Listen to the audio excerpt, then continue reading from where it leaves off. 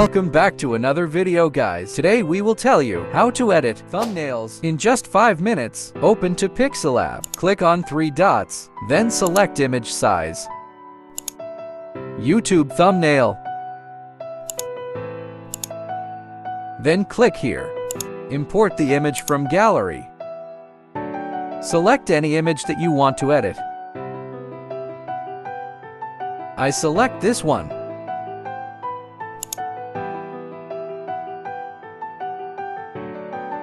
Then tap to relative size. Then adjust it.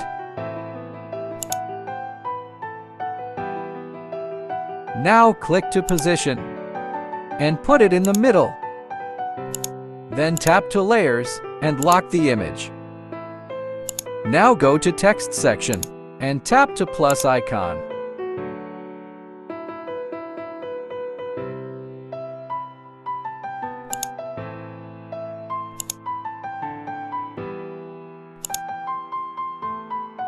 Now write the title.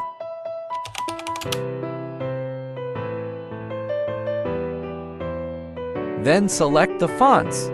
Fonts link in the description. I choose this one for title.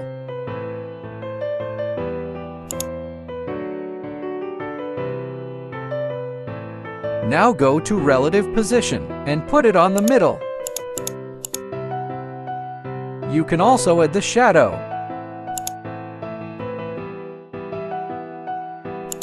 Now follow my steps again.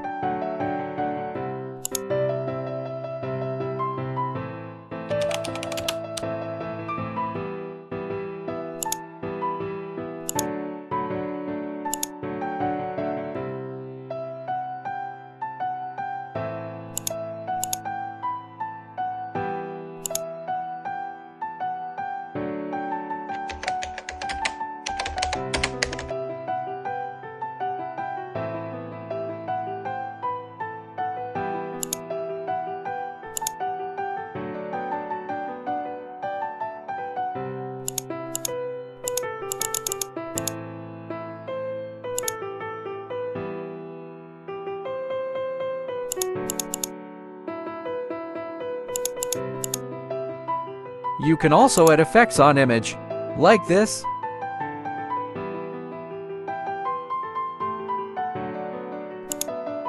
Tap to Save button.